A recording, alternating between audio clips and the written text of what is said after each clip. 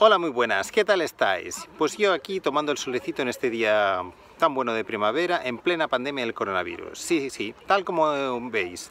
¿Me he vuelto loco? En absoluto. Simplemente que el gobierno suizo ha decidido que la situación del coronavirus ha mejorado. Y hasta ha hecho un plan para salir del desconfinamiento. Ahora os lo voy a contar.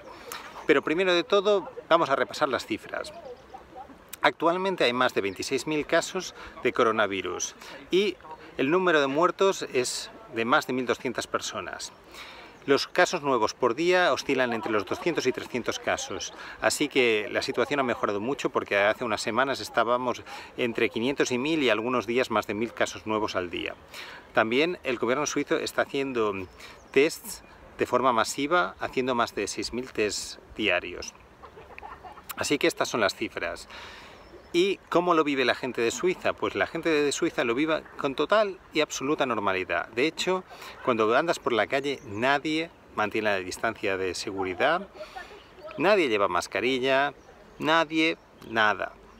Simplemente el centro, las tiendas, bares y restaurantes están cerrados, pero la gente viene alrededor del río, como yo, a tomar el sol, a hacer picnic, a hacer barbacoa, a disfrutar del buen tiempo y aquí el coronavirus es una anécdota y no una realidad.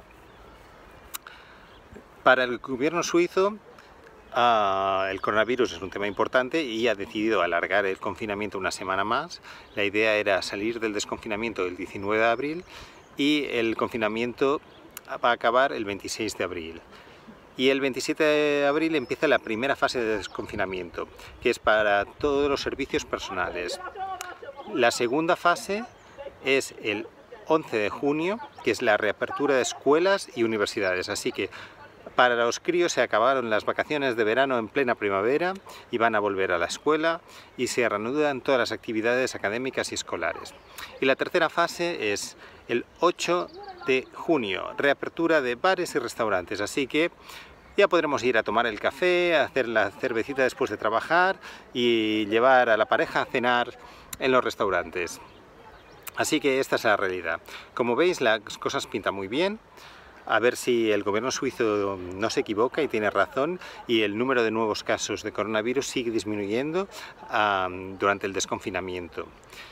Y espero que pronto el gobierno suizo reabra las fronteras porque ahora mismo no podemos salir del país, ni podemos ir a viajar, ni la gente puede venir aquí, así que espero que muy pronto se reabran las fronteras y la gente pueda venir aquí a Suiza y disfrutar de este bonito país en primavera y nosotros podamos salir también y viajar a otros países y eso. Así que nada, espero que en vuestros países la situación del coronavirus mejore mucho y nos vemos en otro vídeo.